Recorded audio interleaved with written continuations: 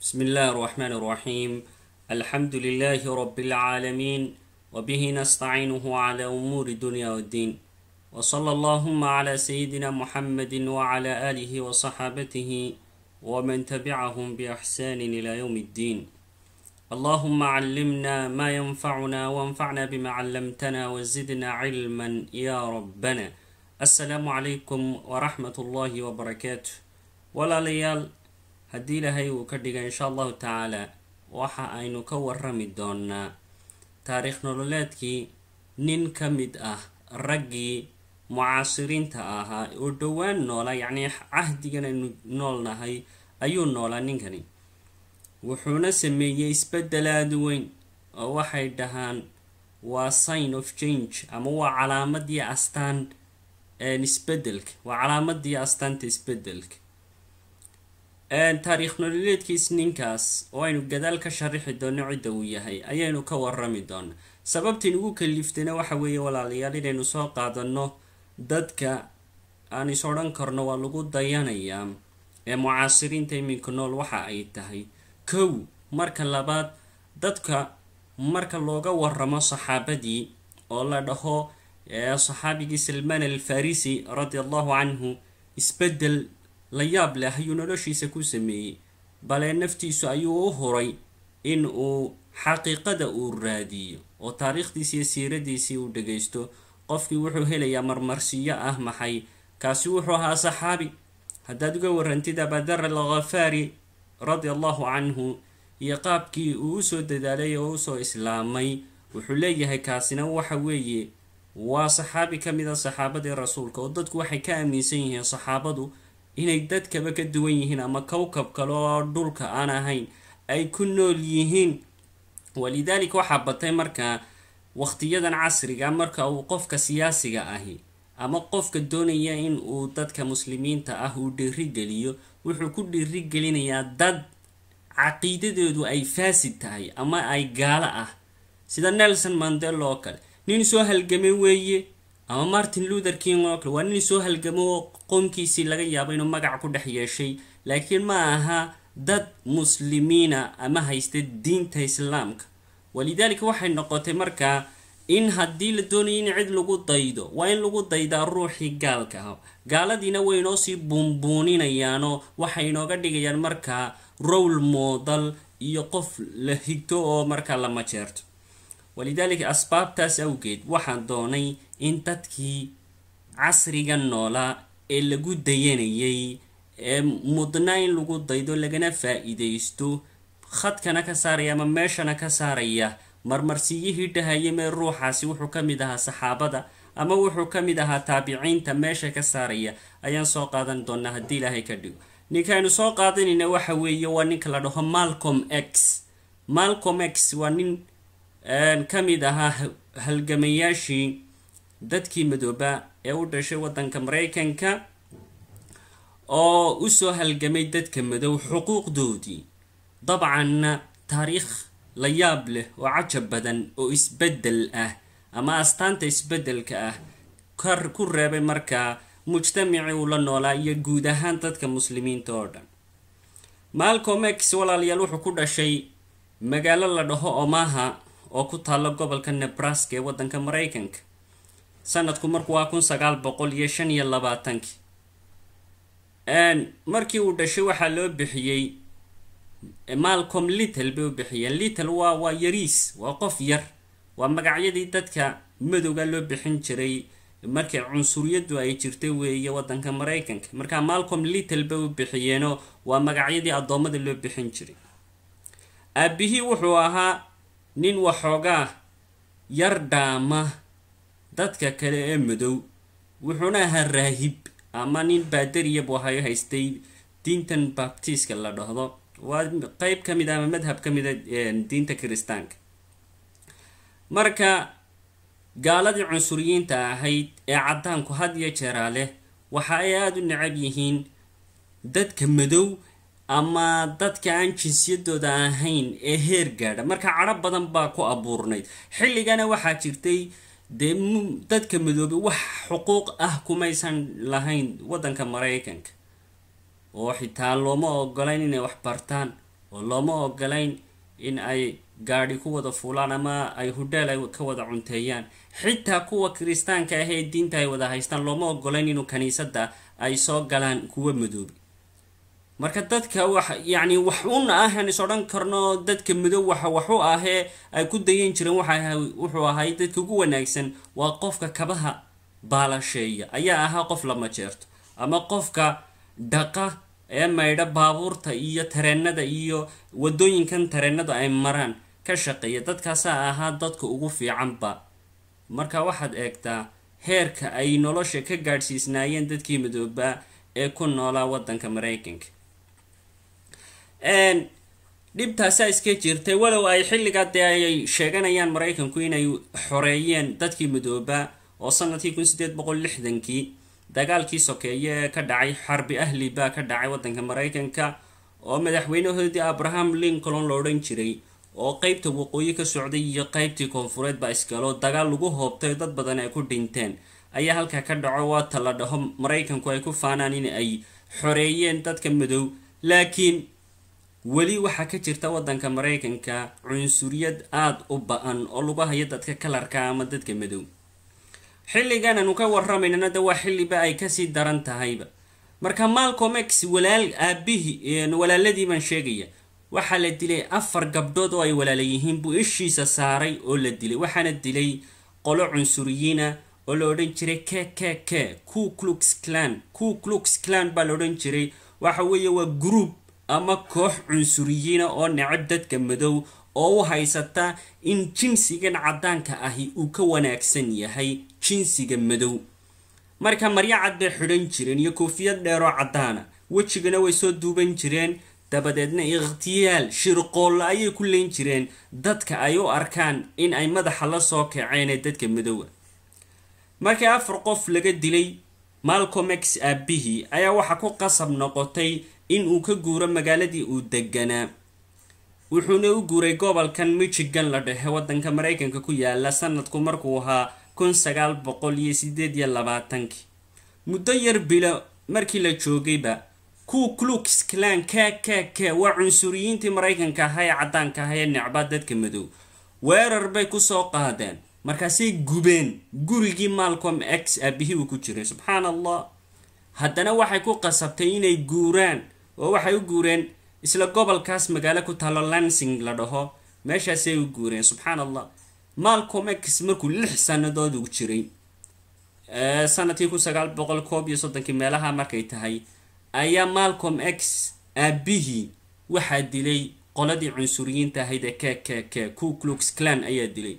Oo weliba qaab fool xun oo dadkao dhan ay ka naxayaan bay u dileen oo madaxay qarxiyeen subxaan allah dabadeedna intay meydkiisii soo qaadeen bay waxay u dhigeen waddada tareenka. Dabadeedna tareen baa maray oo sidaa ku burburiyay maalin kadib waxaa yimi akhbaartii sheegaysa warkiisa oo ay ka dhaheen meeshii laga dhex akhriyey in uu isdilay isagu. Subxaan allah suicide bay dhaheen wuu isdilay. Marka halkaa waxaad ka dareemaysaa dadka madow yacni dhibtii haysatay iyo cadaalad darradii lagula kacayay sidii loo addoonsanay arrintaasi waxay ku keentay malcom x hooyadii oo markaa toddoba caruura leh isaga iyo lix kale leh in ay shaqo raadsato. Dee shaqada markaa haweenka loo ogolaa dadka madoobay waxay ahayd shaqadan jaariyada dee in ay u shaqayso guryaha dadka kale. Laakiin way diideen oo way raftiyeenoo way diideen baxitaa in ay shaqo geliyaan maadaama ninkeedii ay yaqaaneen inuu ahaa nin raahib ahood laga yaabo dadka madoobay in ay ugu yaraan majeeranayaan sanadku markuu ahaa kun sagaal boqol toddobiyo soddonkii ayaa gabadha miskiinada waxaa ku dhacday xanuun badan. Dabadeedna waxaa asiibtay xanuunkan waalida la dhaho madax xanuun baa ku dhacday waali bay noqotay. Dabadeedna waxay geeyeen jeelka jeel magnuunka la dhaho ama ay cusbitaalkii u yaqaaneen cusbitaalka jeel magnuunka. Subxaan allah ilaahayna kuma tuso jeelashaas ama meeshay iyagu ugu magacaabaan cusbitaalka ee wakhtigaas lagu daryeeli jiray dadka maskaxda ka buka ama dhimirka ah. Yacni waa wax lala yaabo qofkaas xitaa hadduu hadal isdhaafa uu bixiyo madaxa dubbay kala dhici jireen.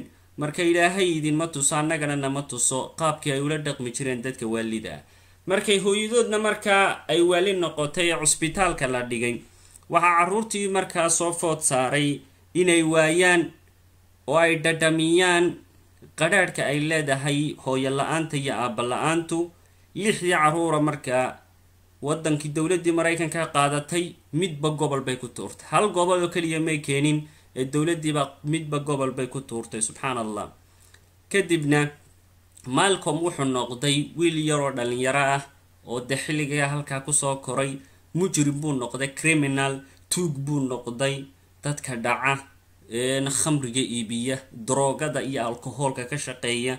Sababtoo ah fursadba ma haysto uu noloshiisa uu ku dabari karo ama wuxuu yahay uu isku soo saari karo. Marka waxay ku kaliftay inuu nolosha ka dhaco uu isdhiibo oo markaa uu iibiyo daraagiskaas iyo khamriga iyo wax halaaliyo shaqo kastoo xaaraana uu ka shaqeeyay. Dabcan xilligaas iskuulka ayuu dhigan jiray markay da-diisu ahayd lix iyo toban jir ayaa iskuulkii laga soo eriyey. Markaasaa loo taxaabay jeelka jeelka iskuulka ku dhammaysaa la yidhi jeelkiiba aduu wax ku dhigdhigtay. Laakiin markuu intuu jeelka ku jiray muddo badan baa lagu xukumay. Waxaa jiray xilligaas cadaalad darrada meesha ka jirta saa u dareentaan dad caddaana oo lala xidhay isaga. Laakiin muddo yar marka iyagu xidhnaayeen ayaa la sii daayey isagana toban sannadood ugu yaraan ayaa qofka sinjiga ama madowey nega ay ugu yeedhaan lagu xidhay subxaan allah wiil yar oo lix iyo toban jira. Waay walaalayaal ninkii maalcom la odhan jiray jeelku ayuu galay xilligan wuxuu waayey xorriyadiisii markii hore dee nin dhallinyaraa buu ahaa laakiin iminka xorriyaddii buu waayey cadho badan baa u gashay iyo xiqdi badan iyo markaa nacayb badan iyo karaahiyo badan uu haya dadka caddaanka. Muddo markuu joogay meeshaasuu dadkii jeelka kula jiray uu iskala sheekaysan jiray. Ayaa maalin maalmaha ka mid ah waxa u timi fariin ama risaalad baa uga timi. Walaaladiisii ayagoo aan xidhnayn ee dee jeelka dabadda ka joogay ayaa u yimi waxayna u sheegeen war in ay soo baxday diin cusub oo loogu talagalay dadka madow diintaasoo awood u leh inay ka badbaadiso dadka madow saydarada ama awoodda ay ku hayso shayaadiinta dadka caddaanka ah. Si kale haddaynu dhigno shaydaanka waxa u yaqaanaa ninka cada shariirka ahee sharka badan ka badbaadinaysabaa soo baxday. Dabadeedna wiilashiiba waxay u sheegeen walaalahayeen inay diintaa galeen. Malcomna isna wuxuu ku qancay diintan cusub ee dadka madow loogu talagalay ee ka badbaadinaysa dhibtan iyo addoonnimada tan. Diintani waxay ahayd diin la dhaho magaceeda islaam waxaana aasaasay nin la odhan jiray magaciisa maxamed al faraad ama walens mohamed faraad la odhan jiray. Ninkan taariikhda cidina ma garanayso wuu qarsoon yahay meeluu ku nool yahay lama garanayo diin cajiiba bay ahayd oo ah waxyaalo laga soo qaatay diinta islaamka iyo waxyaalaha ay ka soo qaateen diinta kiristanka iyo yahuudda kitaabka qur'aanka iyo bibaleka waxaba way isku rumaysnaayeen subxaan allah marka diin mubachar ah oo qol marba meel laga soo qaataybu ayuu sameeyey ninkaasi. Wuxuuna sheegtay inuu yahay rasuul ama nebi. Subxaan allah isagii markii uu qarsoomay la garan waaye meelu qabtay. Waxaa uga dambeeyey dhaxaltooyadaas diintaa cusub ninka la ydhaahdo eleja moxamed eleja maxamed unbaa markaa saxaafadda iyo dunidu ay taqaanaa laakiin aasaasihiis diintaas cidima garanayso sababto abuu qarsoona.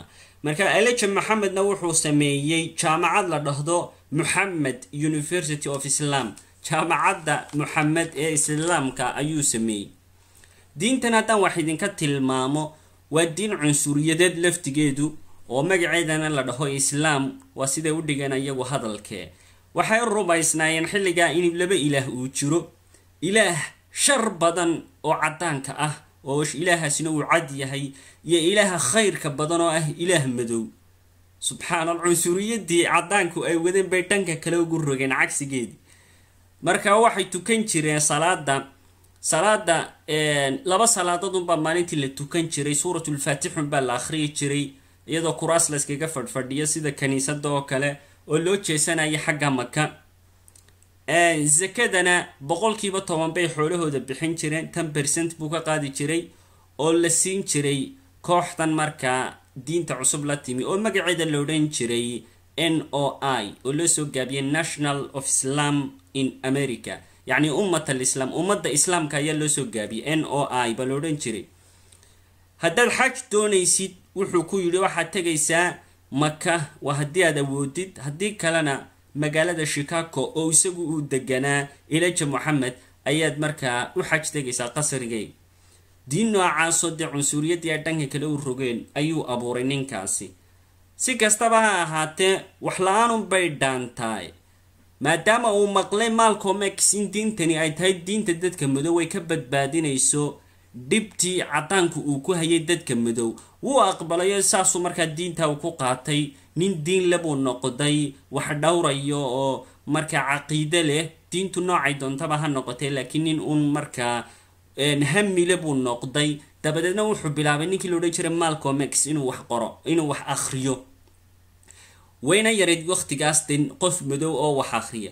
Waxaa ku dhacay markaa cudurkan wax akhrinta waa cudurkii uu yidhi sheekh axmed diidaada raximahu raxmatan waasica insha allahu tacaala ninkaana mar baan doonaya inaan siiradiisa iyo taarikhdiisa insha allahu tacala walaalayaal aan idinka warramo marka wuxuu yidhi waa sickness baa igu dhacay ama cudur la dhahdo wax akhri oo gebigiisiba markaa ay wuxuu doonay inuu mar walba daqiiqad kastaba inuu wax akhriyo dabcan maadaama uu jeelka ku jiro dhammaan librarygii iyo maktabadii jeelku lahaa wixii kutub yaalay oo dhan wuu akhriyey waxaa la dhahaa muddo shan iyo toban saacadooda maalintii ayuu wax akhriyi jira oo xitaa hadduu laydhku damo oo laydhka maaragtay zanzaanadan iyo qolkan yare uu ku jiro markuu laydhku ka damo laydhka markaa waddooyinka ayuu wax ku akhrisan jiray.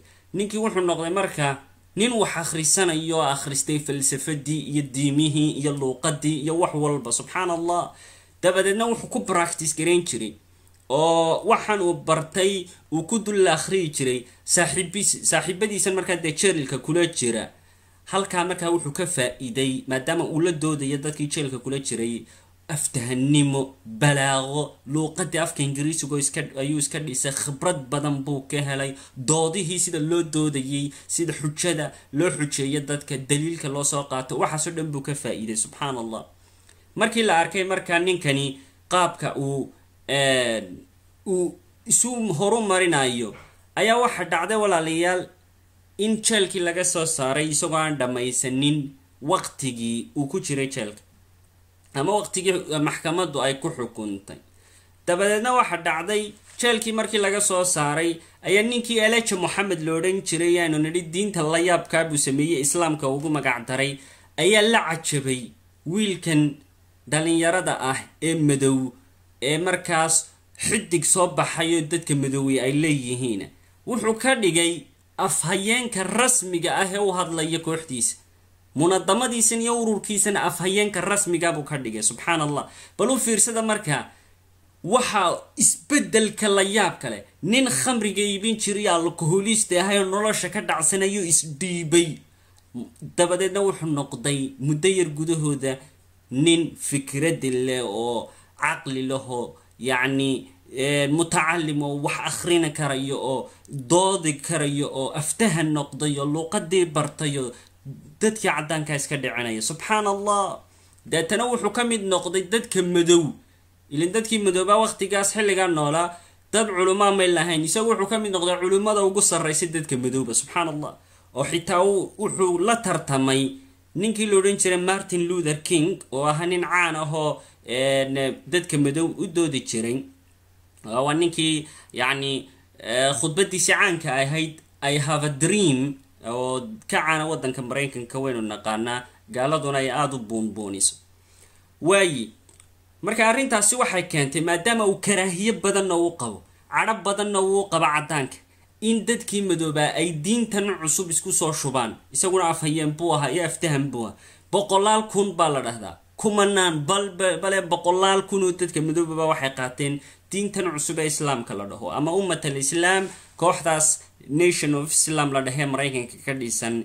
Ee ninka la dhahda leja moxamed madaxda u ah kadibna wuxuu bedelay ninkii malcom x la jiray magaciisa malcom little ee lital ahayd buu bedelay isagoo ku doodayoo leh magacan lital waxa ii bixiyey caddaanka iyo guumaysiga iyo addoonsiga ii bixiyey ee magacaygu waa x. Cidima garanayso sababtoo ah anigu waxaan ahaa asalkaygu nin madoowa afrikaana maadaama awowayaashay laga soo dhacay oo laga soo qaatay oo ganacsi ahaan ama addoonsi loo soo iibsaday oo la keenay waddanka maraykanka annagu waxaan ka go-annahay buu yidhi dadkii asal ahaanaan ka soo jeeday ee madoobaa ee waddanka maraykanka u dhashay.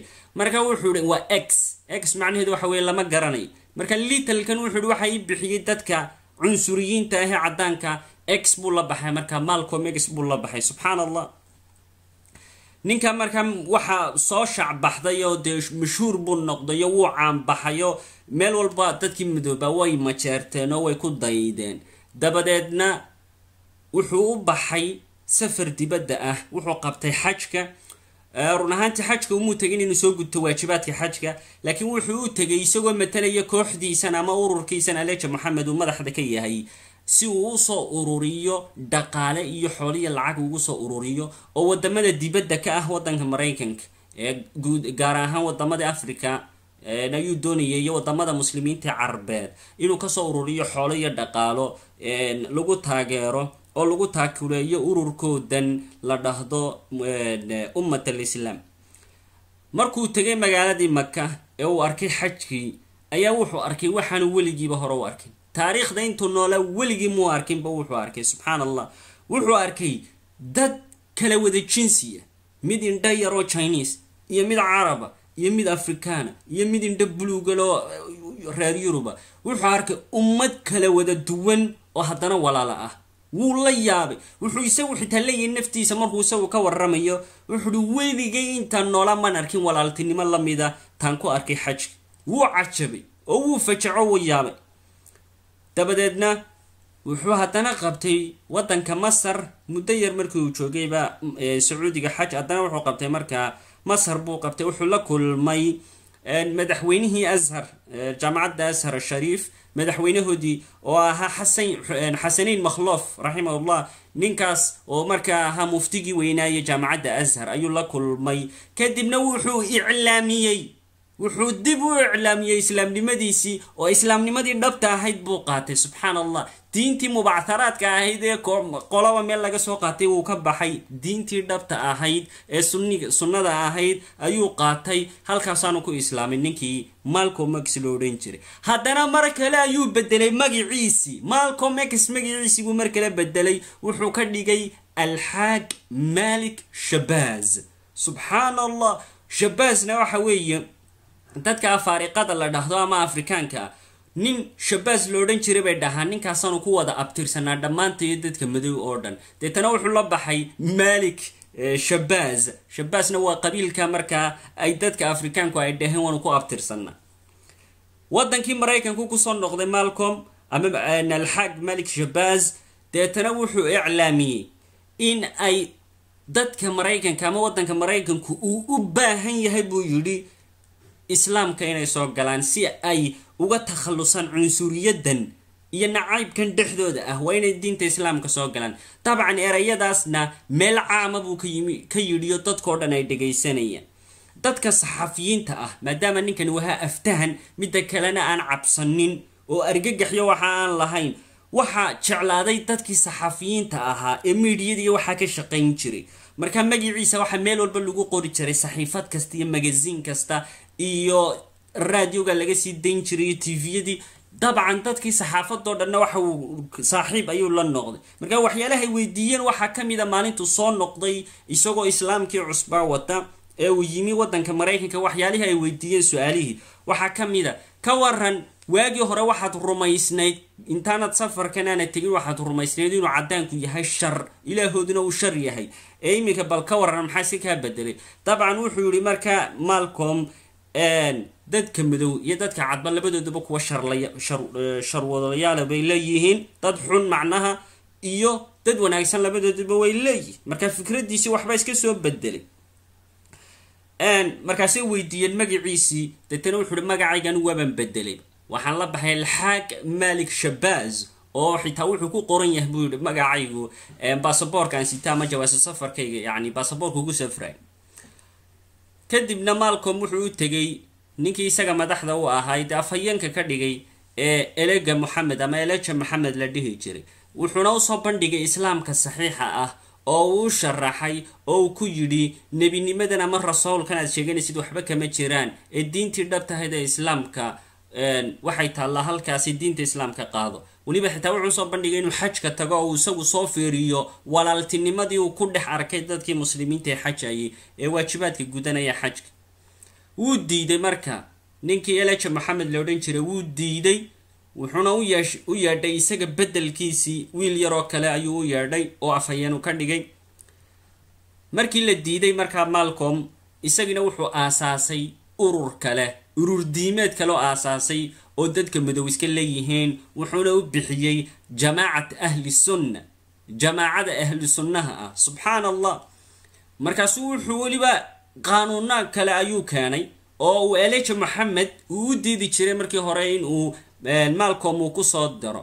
Saddex qaanuun baa ka mid ahayn ka soo qaadan karna kow wuxuu yidhi waxa aanu ogol doonaynaa inaanu ka qayb galno siyaasadda dowladda maraykanka. Waa kow.